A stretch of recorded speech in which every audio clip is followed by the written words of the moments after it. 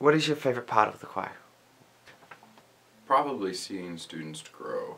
I think uh, when they often when they come to the choir at the beginning, they're unsure. They're they're nervous about people seeing them move or expressing themselves, uh, and they have this great anxiety. Typically, as ninth graders when they come to me, and uh, it's great to see them uh, over three and four years change and become really vibrant.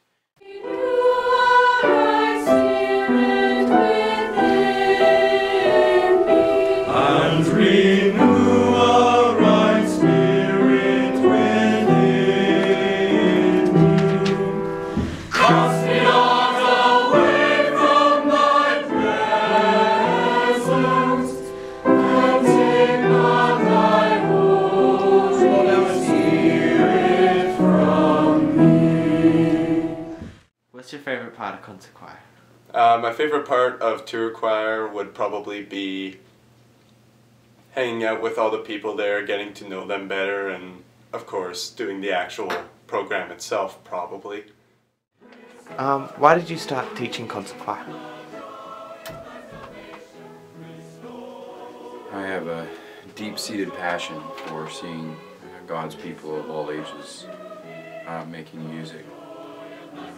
So I love the opportunity of working both in the college but also in high school and seeing young people and discovering their gifts and their interests and the joy there is in serving others through the gift of music. Um, and CHS is a great place for that to happen in the concert choir.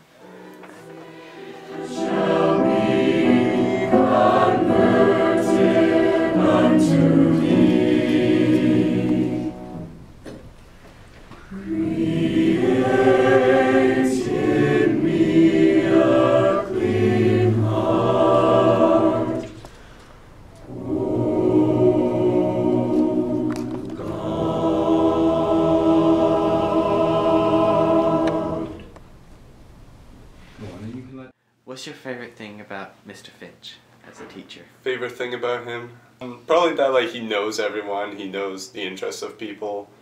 When he conducts, he really knows what he's doing. He knows how to engage with the choir to make us sing louder, sing softer, just to make choir actually like fun and actually worth singing. Um, why do you think so many people are drawn to the choir?